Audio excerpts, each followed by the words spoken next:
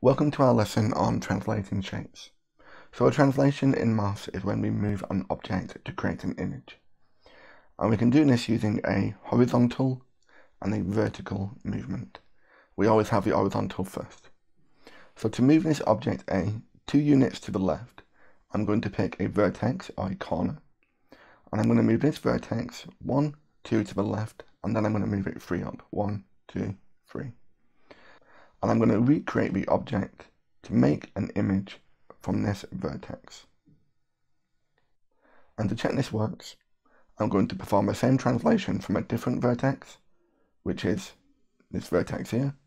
I'll move 2 to the left and 3 up.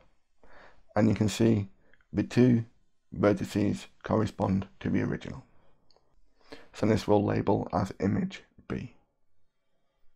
And the question B we're going to move object A 4 to the right and 2 down. So again, I'll pick a vertex. I'll pick this one here. I'll move this vertex 4 units to the right and 2 down.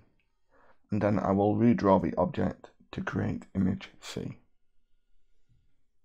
And I'll check it works with a different vertex, this one here. 4 to the right, 1, 2, 3, 4, and 2 down. And you can see the vertices match. Okay, do you want to try and translate object A through question C and question D? You can pause the video and resume it when you're ready.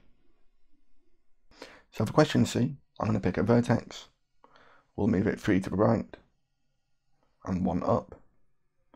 And then we can redraw the image, which we'll label D. And for question D, We'll have a different vertex. We'll move three to the left and one down. And then we'll redraw the object again to create image E. Okay, so this is performing translations. Now we're going to move on to describing a translation. So for question E, we've been asked to describe a translation from B to D. So we'll pick any vertex on B. I'm going to pick this vertex here and I need to match the same vertex on D, which is this vertex here. And we describe it by moving horizontally to the right by five places, and then a vertical movement of two down. So we have five to the right and two down. Do you want to try and describe a translation that maps D onto E?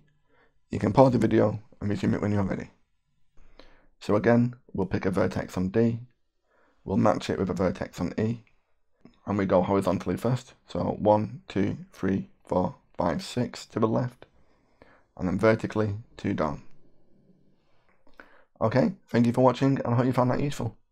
Thanks again and take care.